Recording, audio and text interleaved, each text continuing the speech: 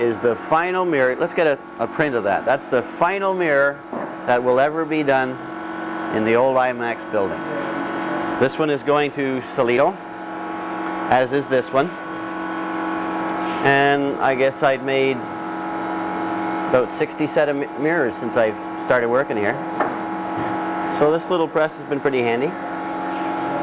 And uh, we'll just set up shop in a new building. Someday I'll be making the 2000th mirror. You never know. You never know. Great. I'm just about finished. No, that's fine. You did fine. Just let them go, eh? Let them go by Jesus. Do that. Da-da-da-da-da, da-da-da-da-da, da-da-da-da-da. So long, folks.